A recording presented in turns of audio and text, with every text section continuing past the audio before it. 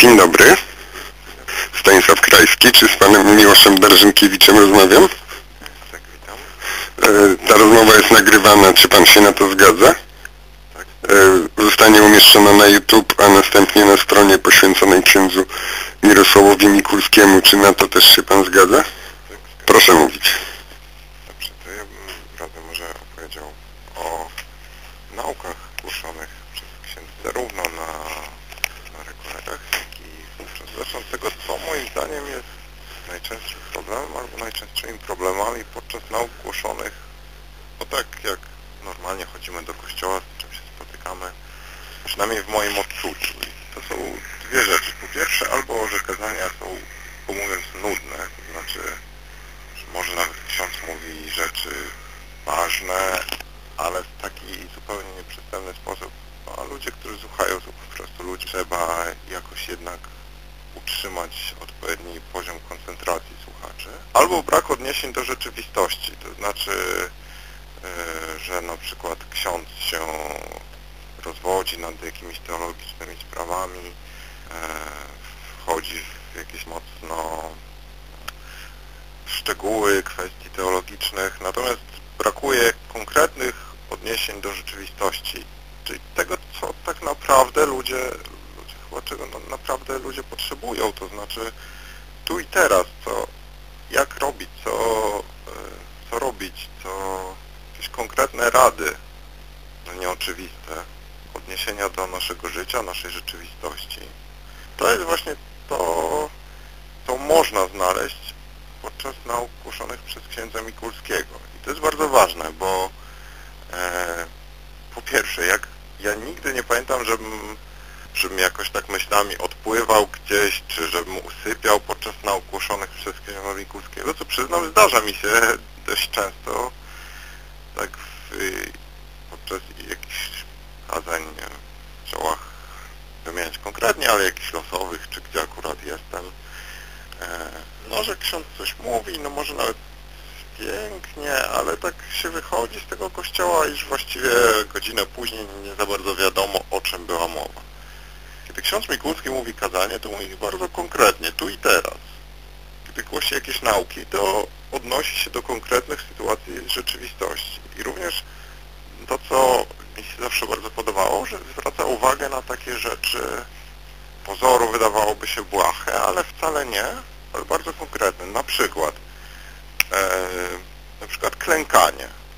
Ja pamiętam jak jeszcze był w parafii Floriana, zwracał uwagę na to, jak ludzie klękają, że klękać to klękać na dwa kolana, a nie na jedno. Że kiedy się przyklęka, to jest duża różnica między przyklęknięciem a kucnięciem. Tak właśnie e, bardzo obrazowo przedstawiał, jak, jak widzicie, jak niektóre osoby przed Panem Jezusem po prostu kłócają i właściwie i oczywiście to nie chodzi o starsze jakieś panie, którym ciężko jest, ale bardzo często młode osoby, które właściwie no nie za bardzo wiadomo kogo chcą oszukać, że przekręcają, ale tak naprawdę wykonują jakieś takie dziwne kucnięcia. Druga rzecz, yy, zwracał uwagę na to, jak się człowiek żegna. Tak? Że bardzo często można odnieść wrażenie, że to jest bardziej jakby muchy odganiał jakimś takim dziwnym losowym ruchem ręki czy machnięciem. Że, no właśnie nasza wiara również, jej elementem są takie najprostsze gesty no, związane z religijnością, ale przeżegnanie czy przyklęknięcie się. I żeby na to też zwracać uwagę, że to w ten sposób jakoś sami prezentujemy swoją wiarę. E, kolejna taka rzecz to, że on nie owija.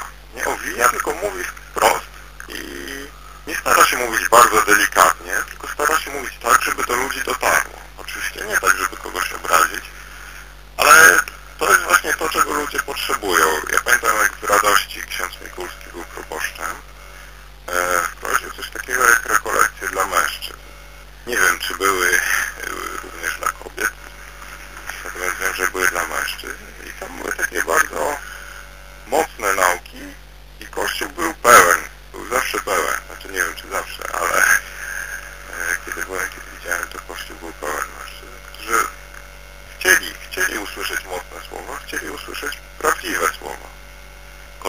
drugą rzeczą, na którą ksiądz Mikulski zwraca uwagę, też można powiedzieć szczegół, ale wcale nie, to było spóźnianie się do kościoła.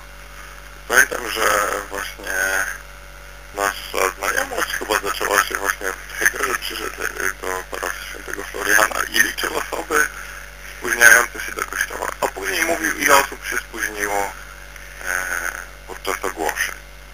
No i to był naprawdę bardzo taki dobry pomysł, żeby pokazać ludziom, uświadomić, że to jest złe, że to jest coś, czego się ludzie powinni wstydzić na co powinni zwracać uwagę, żeby o, na tą wiarę nam przez świętą jednak przychodzić punktualnie albo przed czasem, a, a nie na ostatnią chwilę w efekcie spóźniając się.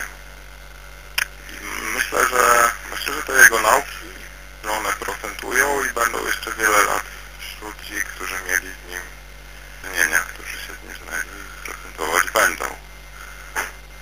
Dziękuję bardzo. Dziękuję.